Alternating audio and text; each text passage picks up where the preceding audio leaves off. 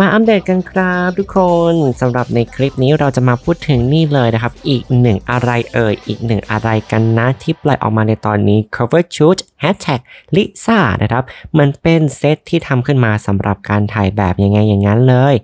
มีการใส่แบล็กกราวนะครับเป็นสีขาวธรรมดา แล้วก็เซตทุกอย่างออกมาให้เข้ากับแสงธรรมชาติด้วย และที่สำคัญเลยเนี่ยมีถุงกระดาษที่คาดว่าน่าจะเป็นของแบรนด์คิดตั้งอยู่ตรงหน้าสุดของเซตในรูปนี้นะครับ มีอะไรเกี่ยวข้องกับ KITH หรือเปล่า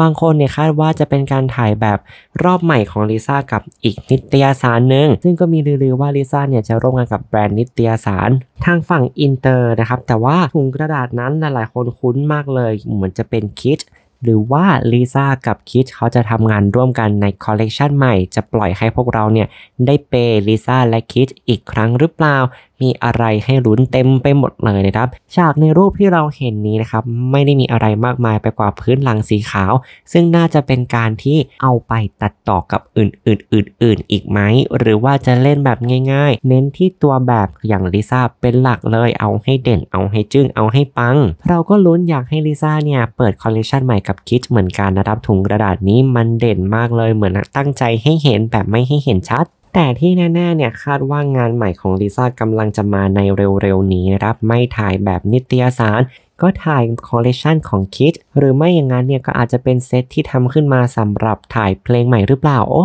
น่าลุ้นไปหมดเลย อะไรอะไรก็เป็นไปได้ ดูเหมือนจะไม่ยิ่งใหญ่อลังการ แต่ว่าเราไม่รู้ว่าทั้งหมดนี้มีอะไรเพิ่มเติมจากนี้อีกไหมนะครับ อะไรอะไรก็เกิดขึ้นได้ เพราะนี่คือลิซ่า ลลิษามโนบาลทุกคนคิดยังไงกันบ้างกับเซตนี้ cover shoot hashtag lisa คอมเมนต์มาและคิดว่าถุงกระดาษนั้นเนี่ยใช่ถุงกระดาษจากแบรนด์ KITH หรือเปล่านะครับ อยากให้เป็นงานไหน